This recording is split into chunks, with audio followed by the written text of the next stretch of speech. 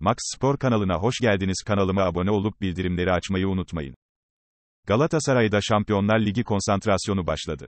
Sarı Kırmızılılar tarihinde 17. kez Devler Ligi'nin grup aşamasında mücadele edecek. Galatasaray ilk maçta Danimarka temsilcisi Kopenhag'ı sahasında ağırlayacak. Galatasaray'da hazırlıklar sürerken teknik direktör Okan Buruk, Samsun Spor maçında performansıyla beğeni toplayan Hakim Ziyech için son kararını verdi.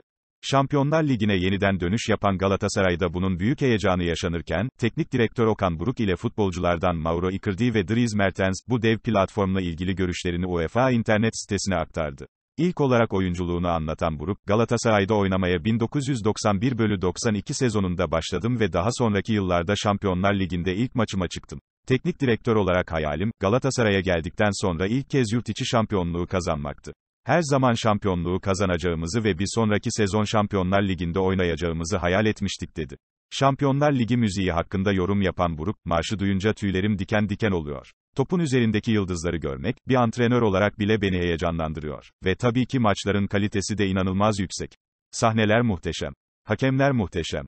Futbolcular muhteşem. Şampiyonlar Ligi dediğimiz zaman bile bu bizi gerçekten heyecanlandırıyor ifadelerini kullandı.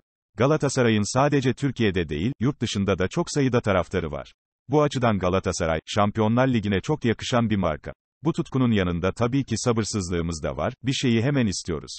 Türk futbolunda bizi zorlayan şeylerden biri de bu. Her şey çabuk olsun, her zaman kazanalım. Futbol felsefem yine Galatasaray genlerimden geliyor. Futbolculuk yıllarımda 7 yurt içi şampiyonluk, bir UEFA kupası ve bir süper kupa kazandım. Her zaman kazanmaya odaklandım ve kazanmasını bilen bir insan oldum. Cimbom'un golcüsü Mauro Icardi, ilk hedeflerinin mümkün olduğunca fazla puan toplayıp gruptan çıkmak olduğunu söyledi. Arjantinli futbolcu, yaptığınız şeye inandığınızda ve büyük şeyleri başarabileceğinizin farkında olduğunuzda, o zaman bunu gerçekleştirebilirsiniz. Arjantin'de futbolu seviyoruz, hatta birçok insan için futbolun aileden daha önemli olduğunu bile söyleyebiliriz. Futbolu soluyoruz. Burada dikkatimi çeken tutkuydu. Sizden önemli başarılar bekliyorlar. Bu beklenti sizi başarıya götürme yolunda motive edici diye konuştu. Dries Mertens de UEFA'ya, Galatasaray'dan ve taraftarın özelliklerinden söz etti. Tecrübeli futbolcu, bu kulübü özel kılan ne? Taraftarların tutkusu, kulübün tutkusu. Yaşamak için harika bir şehir, kulüplerine gerçekten tutkuyla bağlı taraftarlar, harika bir stadyum ve gerçekten çok şey başaran ve zorlu bir dönemden geçen bir kulüp. Çünkü, birkaç yıldır şampiyon olamamışlardı dedi. Galatasaray'da Kopenhag maçı için teknik direktör Okan Buruk tek pozisyon hariç kafasındaki 11'i belirledi. Buruk, ligde Samsun Spor maçında sahaya sürdüğü kadrodan tek değişiklik yapmayı planladığı bildirildi. Genç teknik adamın, Tete'nin yerine Ziyech ile maça başlamayı düşündüğü öğrenildi.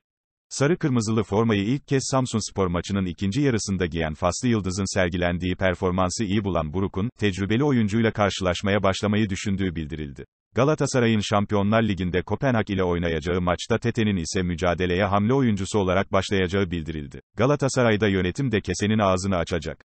Sarı Kırmızılı yönetim, karşılaşmanın kazanılması halinde toplamda 500 bin euroyu prim olarak oyunculara dağıtma kararı aldığı öğrenildi.